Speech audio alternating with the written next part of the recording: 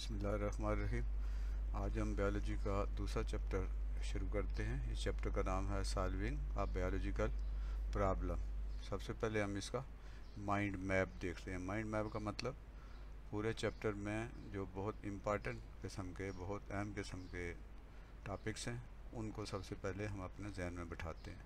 एक नक्शा जहनी बना लेते हैं, जिसे माइंड मैप कहते हैं।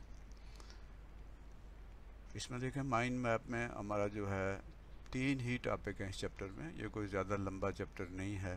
पहला टॉपिक है बायोलॉजिकल मेथड यानी बायोलॉजिकल तरीका, यानी बायोलॉजी में जब हम स्टडी करते हैं, उसका तरीका क्या है? दूसरा है data organisation and data analysis data कहते हैं इंफॉर्मेशन को मालूम को। उस मालूम को लेना कैसे है, उनको ऑर्गेनाइज कैसे करना है? और फिर उसे एनालाइज कैसे करना है? यानी उसका तजिया करके हमने नतज कैसे निकालने तीसरा टॉपिक है mathematics as an integral part of scientific process scientific process में साइंसी तरीक़ाकार जो होता है, उसमें रियाजी मैथमेटिक्स बहुत अहम हिस्सा होता है। तो उसके बारे में इस चैप्टर में बात होगी। यानी तीन टॉपिक हैं, तीन अनुनात हैं जिसके बारे में इस चैप्टर में डिटेल से बात होगी। ये मुख्तर चैप्टर है। और बहुत इंपॉर्टेंट और बहुत ज़रूरी चैप्टर है। ये ना सिर्फ़ हमें बायोलॉजी की स्टडी में, बल्कि दूसरे मजामी की स्टडी में भी ये बड़ी मदद करता है। बायोलॉजिकल मेथड की हम पहले बात करते हैं। बायोलॉजिकल मेथड में जो सबसे पहला जो स्टेप होता है, वो है recognition of the biological problem biological problem यानी बायोलॉजी का कोई मसला है प्रॉब्लम है सबसे पहले उसे रिकॉग्नाइज करना है पहचानना है कि असल मसला है क्या असल प्रॉब्लम है क्या। फिर उस प्रॉब्लम को हल करने के लिए उसको सॉल्व करने के लिए ऑब्ज़र्वेशन कर, करते हैं। ऑब्ज़र्वेशन सिर्फ़ देखने को नहीं करते सुनने को भी चखने को भी सूंघने को भी मस्त करने को भी।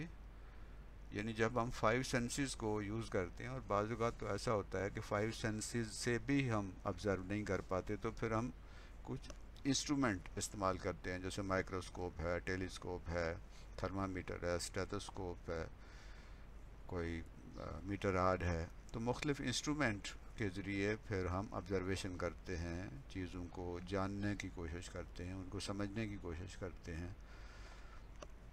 थर्ड स्टेप है बायोलॉजिकल मेथड का फार्मूलेशन ऑफ़ हाइपाथेसिस हाइपाथेसिस कहते हैं फ़र्ज़ी हल को। जब हमारे सामने कोई मसला होता है ना तो हम उसका एक फ़र्ज़ी हल कोई सोचते हैं कि ये हो सकता है, इस तरह हो सकता है, इस तरह हो सकता है। मसलन हमारी अगर फ़र्ज़ करेंगे चाबियाँ गाड़ी की या घर की चाबी गुम हो जाए तो फिर हम क्या करते हैं? सोचते हैं कि अच्छा ये चाबी कहाँ रह गई? बैग में होगी कहीं रास्ते में गिर गई, स्कूल में रह गई, या कोई और वजह। तो ये जितने भी मफरूज़े हैं, फ़र्ज़ी जो हमने चीज़ें सोची हैं कि ये भी हो सकता है, ये भी हो सकता है, इसे हाइपाथेसिस कहते हैं। तो इसी तरह बायोलॉजी में भी कुछ मफरूज़े कायम किए जाते हैं, कुछ फ़र्ज़ी हल पेश किए जाते हैं। फिर उन मफरूज़ों को टेस्ट किया जाता है चेक किया जाता है, देखा जाता है और फिर एक एक मफरूज़े पर तजर्बात से और ऑब्ज़रवेशन से फिर उसको स्टडी किया जाता है और जो उनमें से सही जो मफरूज़ा जिस पे तमाम सबूत मिल जाते हैं, उसकी बुनियाद पे फिर हम आगे बढ़ते हैं और फिर हम डिडक्शन करते हैं। डिडक्शन का मतलब है कि हम मुख्तलिफ़ ऑब्ज़रवेशन के ज़रिए, तजर्बात के ज़रिए, स्टडी के ज़रिए किताबें पढ़ के, लोगों से बात करके, कुछ टेस्ट करके हम नतज निकालते हैं, उसे डिडक्शन कहते हैं। फिर पांचवा स्टेप है, उस डिडक्शन के ऊपर एक्सपेरिमेंट करते हैं एक्सपेरिमेंटेशन है, तजर्बा करते हैं कि क्या ये जो हमने डिडक्शन की है, जो हमने नतीजा निकाला है, क्या ये सही है, क्या एक्सपेरिमेंट पे पूरा उतर रहा है या नहीं उतर रहा। तो एक्सपेरिमेंट पे जब पूरा उतरेगा तो फिर हम उससे अगला कदम लेंगे और वो है उस जो नतज मुख्तु किस्म के निकाले हैं, उसको समराइज़ करना। समराइज़ करना का मतलब है उसको मुख्तर अंदाज में बयान करना। छोटा करके बयान करते हैं, मुख्तर करके बयान करते हैं, बहुत लंबी चौड़ी कहानियाँ नहीं करते, ताकि उस समरी को पढ़ कर मुकम्मल मालूम मिल जाएँ कि प्रॉब्लम क्या था, उसके लिए ऑब्जर्वेशन कैसे की गई हाइपोथेसिस कैसे बनाए गए नतज कैसे डिडक्शन कैसे निकाली गई एक्सपेरिमेंट क्या उस पर किया गया तो ये मुख्तर अंदाज में एक आध सफ़े के अंदर उस सारे प्रॉब्लम को और प्रॉब्लम के सलूशन को मुख्तर अंदाज में पेश किया जाता है, इसे समराइजेशन कहते हैं। फिर हम जो नतज हम निकाले हैं, जो समरी बनाई है, उसको हम अपने पास नहीं रखते, बल्कि उसे रिपोर्ट भी करते हैं, उसे दूसरों को भी बताते हैं। जो हमारे नतज आते हैं, उन्हें दूसरों तक पहुंचाते हैं, किसी भी तरीके से। जैसे कोई मजमून लिख दिया, आर्टिकल लिख दिया, उसको अखबार में दे दिया, किसी रसाले में दे दिया दूसरे जो लोग हैं, उनके साथ शेयर किया कि मेरे इस तजर्बे के और मेरे इस प्रॉब्लम जो था, उसका हल, उसका सलूशन ये निकला है।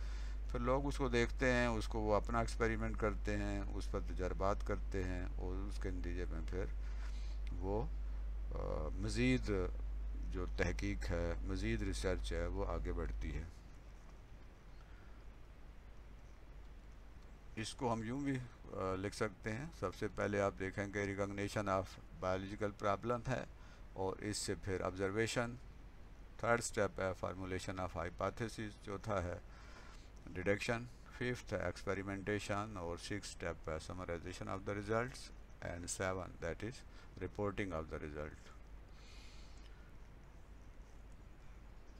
तो ये तो पहला टॉपिक था बायोलॉजिकल मेथड हमने उसके बाद की दूसरा टॉपिक है डेटा ऑर्गेनाइजेशन और डेटा एनालिसिस के। डेटा ऑर्गेनाइजेशन क्या होता है और डेटा को एनालाइज कैसे करते हैं? जो हम इंफॉर्मेशन लेते हैं मालूम लेते हैं, उनको मरतब करना होता है, उनको टेबुलेट करना होता है, उनको मुख्तु किस्म के टेबल्स में रखा जाता है, उसको ऑर्गेनाइज़ किया जाता है, उसको तरतीब दिया जाता है और फिर उससे उसका तजिया करके, उसको मुख्तु कस्म के, उसके ऊपर स्टैट के फार्मूले लगा के मैथ के फार्मूले लगा के हम उससे कोई नतज अखज़ करते हैं।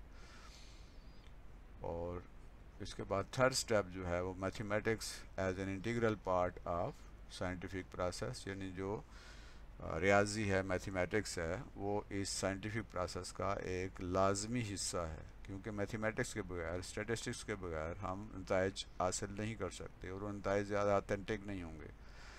तो बायोलॉजिकल प्रॉब्लम है या साइंटिफिक प्रॉब्लम है, उसमें मैथमेटिक्स का इस्तेमाल बहुत ज़रूरी है।